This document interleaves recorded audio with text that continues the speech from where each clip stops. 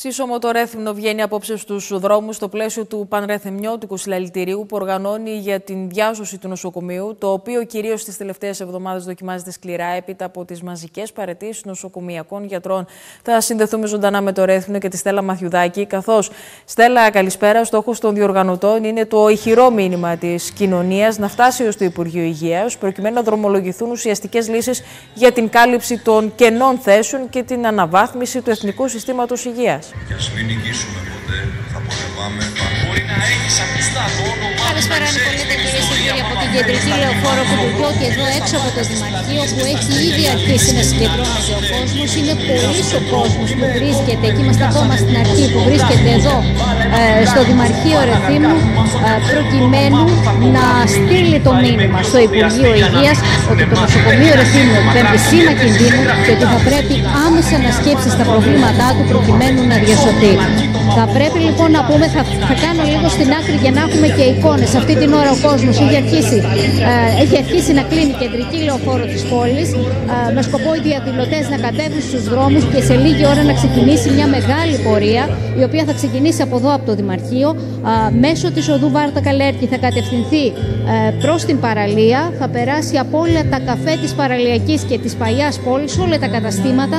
Και πλέον από την ε, μεγάλη πόρτα θα ανέβει στην πλατεία των Τεσσάρων Μαρτύρων ε, και από εκεί θα κατευθυνθεί προς το νοσοκομείο Ρεθύμνου, το πολύπαθο νοσοκομείο Ρεθύμνου, το οποίο θα πρέπει να σας πω ότι όλοι αυτοί οι πολίτες που βλέπετε αυτή την ώρα στους δέκτες σας, από φοιτητές, από εκπαιδευτικούς, δικηγόρους, από όλα τα κοινωνικά στρώματα του Ρεθύμνου που βρίσκονται αυτή τη στιγμή εδώ, θα προσπαθήσουν να πάρουν μια γκαλιά, όπως είπαν χαρακτηριστικά, θα σχηματίσουν δηλαδή μια ανθρώπινη αλυσίδα πιασμένη χέρι-χέρι περιμετρικά του νοσοκομείου, στέλνοντας έτσι το μήνυμα στο Υπουργείο Υγείας, στο Θάνο Πλεύρη, στη Μίνα Γκάγκα, ότι πρέπει να σκύψουν πάνω στα προβλήματά του και να δώσουν ουσιαστικές λύσεις. Και καταλαβαίνουμε, Στέλλα, από τον κόσμο που βλέπουμε ότι έχουν αρχίσει να, να έχει αρχίσει να συγκεντρώνεται ότι είναι αποφασισμένοι οι κάτοικοι του Ρεθύμνου, το μήνυμα αυτό να είναι ηχηρό, όπως είπες και εσύ. Ε, αυτή την ώρα το νοσοκομείο του Ρεθύμνου αντιμετωπίζει πολλά προβλήματα, κυρίως ό,τι έχει να κάνει και με το κομμάτι των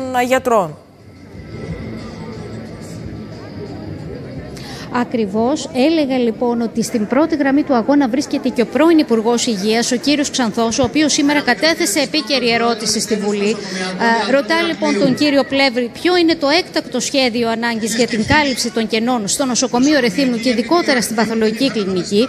Ε, και βεβαίως τι θα γίνει με τις προκηρύξεις που κατά καιρούς διεξάγονται και οι οποίες δυστυχώς ε, παραμένουν άγονες, βγαίνουν άγονες, καθώς δεν υπάρχουν τα κίνητρα. Αυτά τα οικονομικά κίνητρα είναι που αναφέρει ο κύριος Ξανθός στην ερώτησή του προς τον κύριο Πλεύρη εάν είναι διατεθειμένο το Υπουργείο Υγείας να δώσει προκειμένου να στελεχωθεί. Αρκεί μόνο να σας πω, Νικολέτα, ότι αυτή την ώρα, σήμερα, αυτή τη στιγμή που μιλάμε, από τους δύο ειδικευόμενους γιατρούς που έχουν απομείνει στην παθολογική, εξαιρούμε τους εννέα ειδικευόμενους, έχουμε μείνει με έναν καθώς η μία γιατρός αρρώστησε. Είναι στο πρόγραμμα ουσιαστικά σε αυτή τη δύσκολη περίοδο. Αντιλαμβάνεστε λοιπόν ότι ένας ειδικευμένος παθολόγος καλείται αυτή την ώρα από σήμερα και μέχρι να επιστρέψει συνάδελφός του στο πόστο της να καλύψει όλα τα περιστατικά που νοσηλεύονται αυτή την ώρα στην παθολογική κλινική και που είναι πάρα πολλά καθώς οι νοσηλεία στο τελευταίο διάστημα λόγω γρήπης, ιώσεων, COVID αυξάνονται ε, πραγματικά με γρήγορους ρυθμούς και στην παθολογική και στην πνευμονολογική. Να πω εδώ ότι πέρα από την παθολογική κλινική του νοσοκομείου, σοβαρότατο πρόβλημα, εξίσου σοβαρό, παρουσιάζει και η χειρουργική κλινική.